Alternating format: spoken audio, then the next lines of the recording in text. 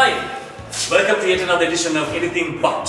I'm here today in this beautiful film set house down Flower Road uh, to meet its charming, uh, well-known host, uh, my good friend Ashok Ferry. Hi Ashok, Hi, to our show. hi, Kumar. Hi. So, we know that you've been doing lots of things. You went overseas when you were 8 years old to Africa, uh, then you went to the UK, you came back you were, when you were 30, 31 years old. It's been a long journey, and Colombo and we know you to be lots of things. So, tell me, who is, who is the real Ashok If I answer that, we'll be here all night. so you better not, you better not care what I have to say. Okay, tell me about your Thatcher years in the UK and converting uh, these houses. Um, it, it was it was lovely, and in many ways it was the best time of my life because it was so unexpected. Okay. You know, you don't normally get, or one didn't pay get Asian builders in those days. Um, that was one thing. Um, so that was that was, and still today, um, years later, somebody came to this house and and, and they they hadn't known me before, and they said. We remember you, they said. You were, we used to call you the Packy and the Paddy. Right. Uh, well, I was the Packy, and the carpenter on site was Irish, was the Paddy. So we were the Packy and the Paddy. You called yourself um, a failed builder. Why did you fail as a builder? Or did you Um, fail as a builder? Well, well, I, I won't go into all that, but it's um, uh, um, yeah, I don't know. But it was funny. I think that's Converting houses, what kind of conversion did you do? Victorian houses in the Thatcher era. Yeah, well, sort of, you know, these Victorian houses are all pasted up against each other, and each has kind of either three floors or two floors. So if it was a two-floored house, I turned it into two flats. The three-floored house, three flats. So in eight years, I did 84 of those. And you were a bartender as well?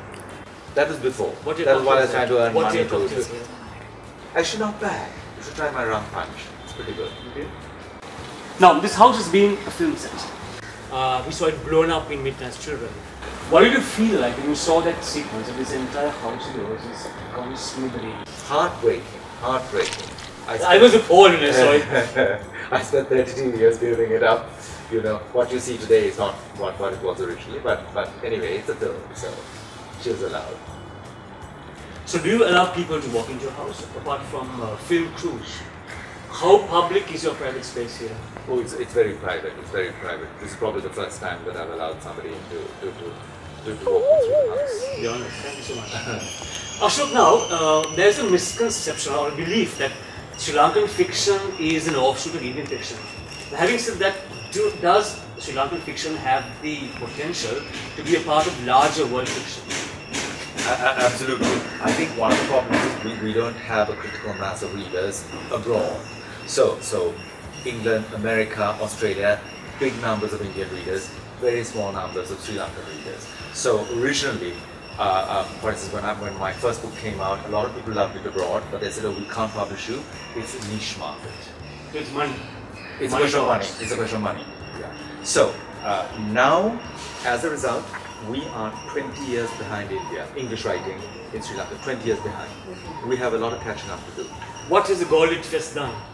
Huge, hugely valuable. And I'm truly grateful to Geoff, Geoffrey Dobbs for bringing it here because it's actually pushed us forward 10 years. It really has. And, and as people begin to realize that Sri Lankan fiction is actually essentially quite different from Indian fiction, people will buy it simply because it's different, not because it's Indian fiction. So we start off as being India light, sort of Indian, vaguely Indianish sort of fiction, but we end up as Sri Lankan fiction. Uh, I smelled it five really minutes sorry. away ago actually. Um, Ashok, people have said that you are this very anglicized Englishman masquerading in a Sri Lankan garb. I mean, you are Ashok Ferry. And What do you see? what do I say? Um, well, I How think people perceive you actually. yeah, I think you can't. I think one of my real problems is that people can't put me into like it's quite difficult to classify or put me into a particular box. You know, uh, I don't look like a pure mathematician from Oxford. I don't look like a writer. I look like one of the workers. Quite often, I go, no, no, I, I kid you not. Quite often, when I go to Odel and I'm sitting there signing books, very come- just. Yeah, people very come and ask me where the lavatory is. I get this time and time again, how do you get the loo? How do you get the chest? And then they, they, they, they, they, they, they badmouth me when I say, well, I'm actually the right guy, I'm here the right book. It happens to me all the time.